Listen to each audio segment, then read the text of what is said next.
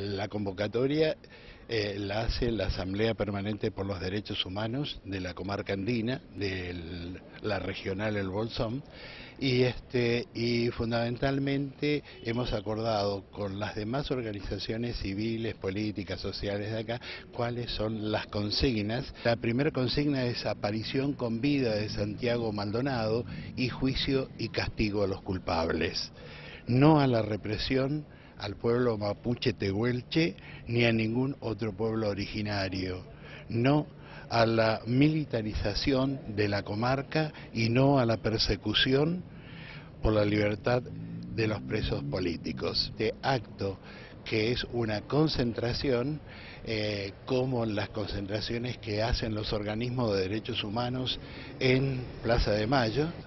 Bien, bueno, Germán, ¿cómo eh, van a ser las actividades para el día domingo? Una jornada de reflexión eh, y de concientización de lo que está sucediendo, ¿no? También nos imaginamos.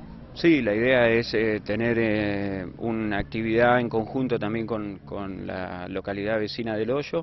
Ahí se está proponiendo algunas actividades van a empezar eh, un poquito más temprano, van a empezar una y media del mediodía, se va a hacer una pintura en un, en un, mural, está previsto, hay que ver si conseguimos las autorizaciones necesarias para llevarlo adelante, pero tenemos todo previsto.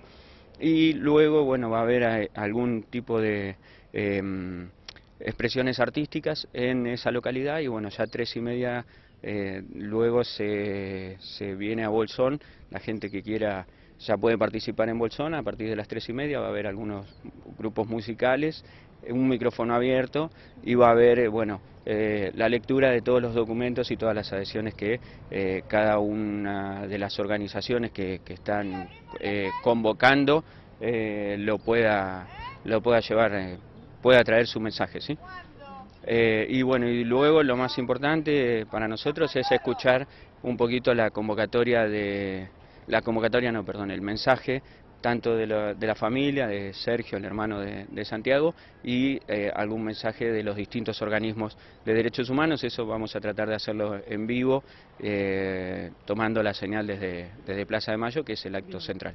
Buenísimo. Bueno, Juan, entonces convocar a, a los vecinos para que se acerquen este próximo domingo.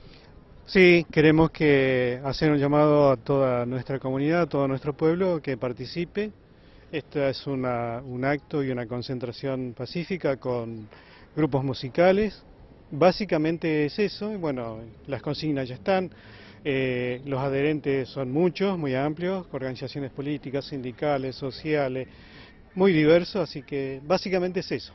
Bien, ¿y hay un horario para, para marchar? ¿Hay una marcha programada? Nosotros llamamos a un acto de concentración y nada más. Nosotros este, eh, terminamos el, lo que sería lo, eso y nada más, que es básicamente es eso, pacíficamente expresando lo que, lo que está pasando, básicamente eso.